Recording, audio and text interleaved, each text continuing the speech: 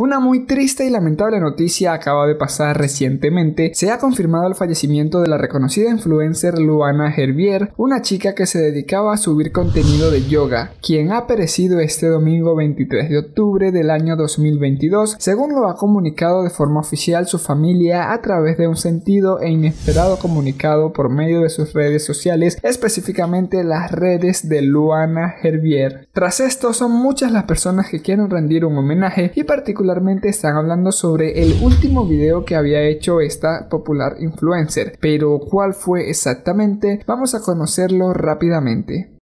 Pero antes de continuar quiero que sepas que mi nombre es Jesús Campos y te invito a darle un buen like a este video, de esta forma me estarías ayudando a seguir informando para ti. Luana Herbier era una influencer y profesora de yoga, quien también era formadora de profesores de yoga, una terapeuta de sanación profunda, health coach y profesora de educación física. Había nacido y vivido hasta los 7 años en Porto Alegre, Brasil, para luego mudarse a la Argentina, el país de sus padres, donde empezaría oficialmente su carrera en nutrición, yoga y educación física, mencionando además que se convirtió en una grandiosa conductora de radio y televisión. Con el pasar de los años es de mencionar que la influencer logró alcanzar la cifra de 100.000 seguidores a través de Instagram, pero lamentablemente pereció el domingo 23 de octubre del año 2022 por razones que todavía no han sido esclarecidas, algo que sorprendió a muchísimos seguidores ya que la influencer estaba muy activa en sus redes sociales, aunado a ello también comentaba mucho sobre lo que es tener una vida sana, lo que es mantenerse sano, por lo que esta noticia resulta también un poco sorprendente para muchísimos usuarios. De hecho, estamos hablando del último video que subió a través de su cuenta de Instagram, por ejemplo, en el que le vamos a mostrar a continuación. En dicho video vemos cómo está dando una clase de yoga al aire libre, donde comenta que se declara con ansiedad y nos mostraba tres posturas que nos ayudarían para combatirla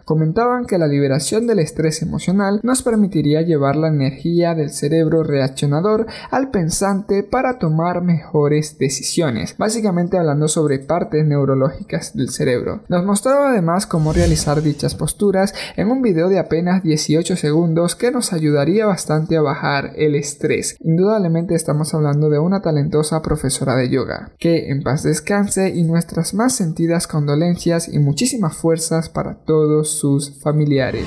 ¿Y tú qué opinas sobre todo esto que está pasando? Pues déjame tu opinión aquí abajito en los comentarios. Mi nombre es Jesús Campos y recuerda darle like a este video y suscribirte al canal. De esta forma me estarías ayudando a seguir informando para ti.